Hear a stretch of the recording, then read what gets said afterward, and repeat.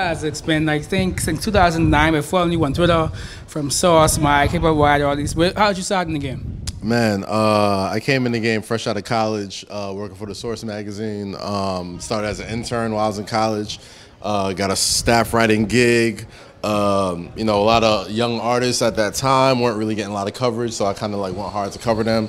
Guys like Wale, guys like Drake, Big Sean, Wiz Khalifa, those dudes. And uh, by the time I was ready to graduate, they had a full time gig ready for me. So you know, I've been running ever since, since from Source Magazine, Hip Hop Wired, Stashed, and now uh, Bleacher Report. So now that's a big move. My, I think it's content director, content manager. What's up? Wait, what's, what's the title of Bleacher Report? Uh, managing editor. Uh, we run their uh, Snapchat Discover page, and we do a lot of like artist athlete relations. How how dope is that?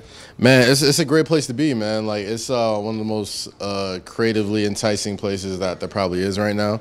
Um, there's never really a bad answer over there, so uh, you know. And I've always just really been into sports. I've always been an athlete most of my life, so uh, it was kind of like a natural progression.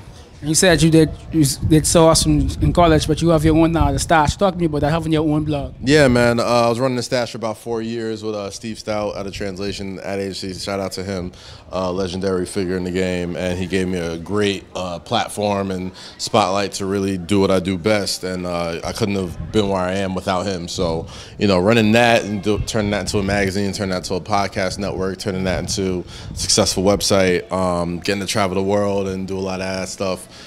uh, a lot of that was thanks to him. So, um, you know, Stashed was definitely my vision, but, you know, he was the guy who made that vision come true. So, you know, shout my, out to my, my, business partner, Amamo, he wouldn't let me talk to you without talking about Wrassle Rap. So I'm not a Wrassle Rap. He's a huge fan. I know this is WrestleMania. Yeah. So he wanted to ask you how you feel about the Hall of, Night, um, Hall of Fame, um, Kurt Angle, um, what's coming from Royce wants to hear your take on Wrassle Rap right now. Yeah, man. Actually, we, we're heading back to WrestleMania right now. As soon as we get out of here, we're going back to Orlando. But we just came from Orlando last night. We had Wale Mania last night in, uh, at Tier Nightclub in Orlando.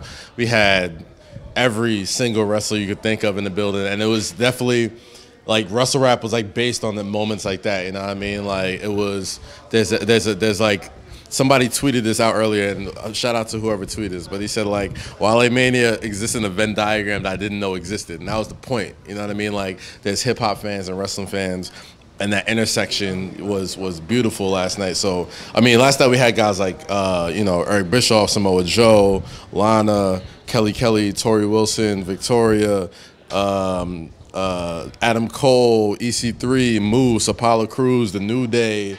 Uh, Jesus Christ, I know I'm forgetting people. MVP, uh, the Bullet Club, uh, golly, gee whiz. Um, every wrestler you could think of. Uh, the Usos, shout out to the Usos, they was out there.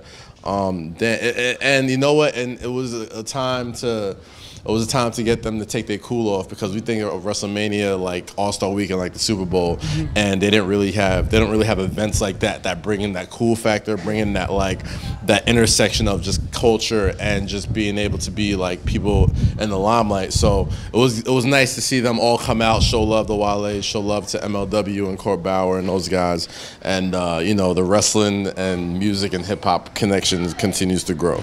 And lastly, when can we get Hennypalooza out there in the Bahamas? Oh man, sooner than you think. Sooner than you think, bro. Uh, we're going to St. Thomas in about a month, and that's kind of like our test run because we did uh, we did the Bermuda a couple years ago.